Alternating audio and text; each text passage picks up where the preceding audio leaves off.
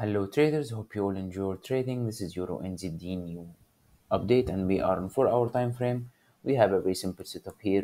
We have this double top uh, pattern, the price trying to make this double top and this yellow area, it's our uh, neckline. So we want a clear closure below this yellow area to can take a sell uh, trade. This is our double top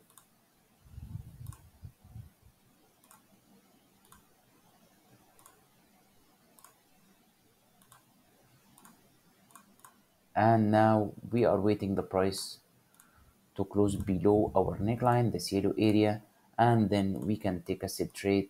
And our target we can measure it from the top and to uh, neckline and then we can put our target. So it will be at 1.67900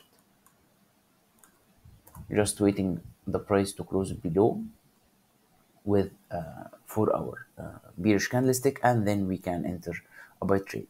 If we haven't any closure so we can't uh, enter a sell trade. And if we haven't a closure maybe we will see the price will go up and make triple top and then go down again. Hope you all benefit from this analysis. Trade safe and have a nice day